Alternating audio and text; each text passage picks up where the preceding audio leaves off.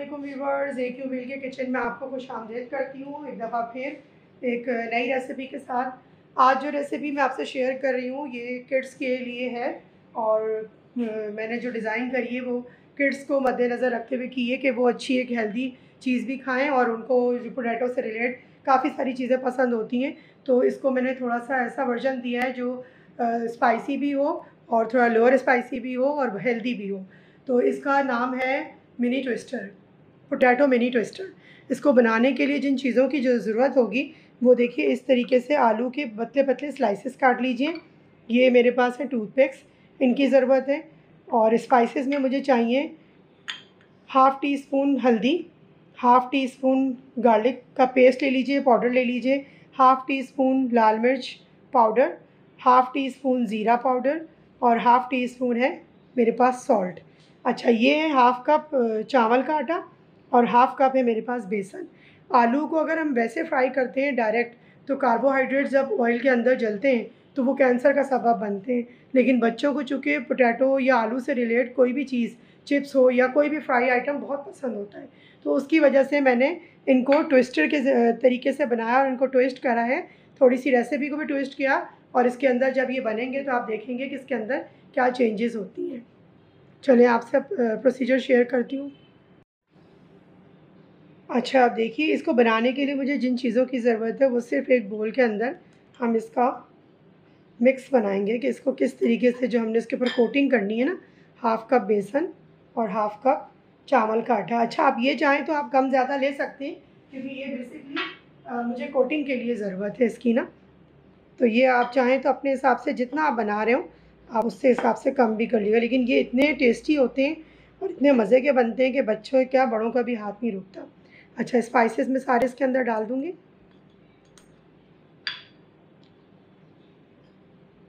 अच्छा पानी हमें चाहिए इसका पेस्ट बनाने के लिए। ना बहुत ज़्यादा गाढ़ा हो, ना बहुत ज़्यादा पतला हो। इतना हो कि जो एकदम से सारा पानी मत डालिएगा थोड़ा थोड़ा करके पानी मिक्स करिएगा। मेरे पास पानी ज़्यादा मेजर्ड होता है, तकरीबन एक से डेढ़ कप पानी जाएगा, लेकिन फिर भी डिपेंड करता है। चावल का आटा जो होता है और बेसन, वो दोनों ही पानी ज़्यादा लेते हैं। इसका एंड में भी मैं आपको टेक्सचर दिखाऊँगी कि इसका टेक्सचर कितना गाढ़ा होना चाहिए ताकि वो जो हमारे ट्विस्टर बने, उनमें आसानी से, जो है ना, उसकी कोटिंग हो जाए। अच्छा देखिए, तकरीबन एक से डेढ़ कप इसमें पानी गया है और एंड में मैं आपको बनाते वक्त इसकी कोटिंग का टेक्सचर भी दिखाऊँगी। इसको रखते हैं साइड में और इसके ट्विस्टर बनाने का प्रोसीजर शेयर करती हूँ आपसे, देखिए। इस तरीके से हमने एक स्क्रू ये लेना है टूथपिक और ये हमने पोटैटो इस तरीके से इसमें लगाना शुरू करने अच्छा अब जब हम लगाएँगे ना तो एकदम से साथ साथ नहीं लगाना हमने। इस तरीके से थोड़ा सा तकरीबन टू सेंटीमीटर या थ्री सेंटीमीटर का गैप छोड़ना है। उसकी वजह क्या है कि जब हम ये जो पेस्ट हमने बनाया है, जब हम इसके ऊपर से गुजारेंगे तो ये अंदर तक इसमें लगेगा भी और इसका फ्लेवर बहुत अच्छा आ जाएगा इससे। ठीक है? अच्छा चूँकि हम बच्चों के लिए जब बना रहे होते हैं ना तो वाइट साइज़े या स्मॉल पीसेस साइजेस में चीज़ें बना रहे होते हैं तो वो बड़े खुश होते हैं। बच्चों को बहुत ज़्यादा क्वांटिटी के अंदर आप चीज़ देते ना तो उनके अंदर वो कदर कीमत नहीं रहती है बनाना, बच्चों के, उसकी। ठीक है, ये देखा आपने? इस तरीके से हम बनाते जाएँगे। बहुत से बहुत टू पीस या थ्री पीस रख अच्छा देखिए, ये इस तरह से ये डाला हमने। इसके अंदर लगाया आपने और टू सेंटीमीटर का सेंटर को रख के आलू का और फिर टू सेंटीमीटर का हमने इसमें फासला छोड़ना है। ठीक है? ये देखिए इस तरीके से। फोर फोर पीस लगाएँगे हम। ये देखिए। बड़े बच्चे खुश होंगे जब आप उनको ये देंगे ना, उनको बहुत चेंज लगेगा। कुछ पकौड़ा स्टाइल कुछ आलू के चिप्स स्टाइल बड़ा डिफरेंट सा फ्लेवर इसका आता है। बस इस तरह से ये देखिए, लगा लीजिए। सारे जो हैं वो मैं प्रिपेयर करती हूँ और फिर आपको दिखाती हूँ कि इसको फ्राई किस तरीके से करना है, इसकी कोटिंग करके।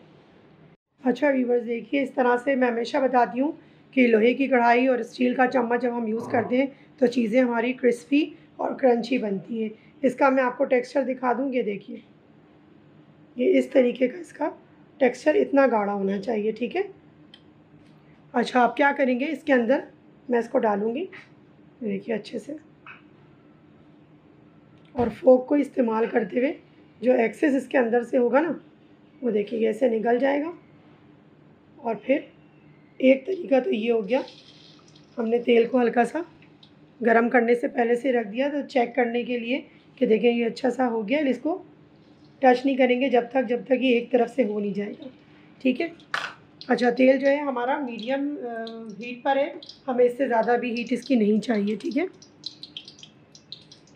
अच्छा दूसरा तरीका ये है कि मैंने इसको इस तरीके से घुमाया और ये देखिए, इसको रोल करते हुए ताकि जो भी इसमें एक्सेस है, वो लग जाए और अंदर तक जो है हमारा, ये देखिए, इसको मैं ऐसे करके डाल दूँगी इसके अंदर। तो मैं तो यूज़ टू हूँ, लेकिन मैंने कहा एक तरीका आपको सिखा दिया कि आपको प्रॉब्लम ना हो। जैसे ये ट्विस्टर है, इसको इसी तरीके से हमने आलूओं को देखिए ट्विस्ट करते रहिए। जो भी एक्सेस बैटर होगा ना, वो सारा इसका निकल जाएगा और इसमें हम इस तरह से डाल देंगे। हाथ को बचा के काम कीजिएगा ऑयल की वजह से ज़रा। देखिए, इस तरह से हमने डाला। अच्छे से डिप कर लिया आपने और फिर इसको घुमाते चलेंगे। ये देखिए, ताकि एक्सेस बैटर बहुत ज़्यादा ना लगे। बच्चों को ये ना लगे कि आपने बेसन ही लगा दिया इसके अंदर ना। ये देखिए और उसके बाद इसको ऐसे डाल इस तरह से मैं सारे फ्राई करती हूँ और फिर आपको प्रेजेंट करके दिखाती हूँ। जी वीवर्स देखिए, ये मिनी पोटैटो ट्विस्टर्स जो हैं, वो तैयार हैं और बहुत मज़ेदार, बहुत क्रिस्पी होते हैं ये। बच्चों को कैचअप भी पसंद होती है और मेयोनीज़ भी बहुत पसंद होती है। इन दोनों के साथ आप सर्व कीजिए और इन्जॉय कीजिए और मुझे दुआओं में याद रखिए। हमेशा की तरह से यही कहूँगी कि अपना और अपने अतराफ़ के लोगों का बहुत ख्याल रखें। खुश रहें, खुश रहने दें और खुश रखने की भी कोशिश कीजिए। और बच्चों के लिए, बड़ों के लिए, बुज़ुर्गों के लिए, जो भी जिसके घर में जिस तरह के लोग चीज़ें पसंद करते हैं, उस तरह की चीज़ें ऐसी वेरिएशंस के साथ बनाइए। कम खर्चे में बच्चों को नहीं पता होता, क्योंकि ज़ाहिर बात है कि बड़े किस तरह से आजकल जो है वो हालात की वजह से चीज़ें कर रहे होते हैं बच्चों के लिए। तो कोशिश कीजिए ख़वान का काम होता है कि वो थोड़े से खर्चे के अंदर नई से नई चीज़ें बनाएँ और सर्व करें और घर में तो एक अच्छा सा माहौल भी क्रिएट होता है, अच्छी एक फ्रेशनेस रहती है और ऐसी चीज़ें तैयार करके कमेंट्स में मुझे ज़रूर बताइएगा कि आप लोगों को कैसी लगी। हमेशा की तरह से यही कहूँगी ईट हेल्दी फील हेल्दी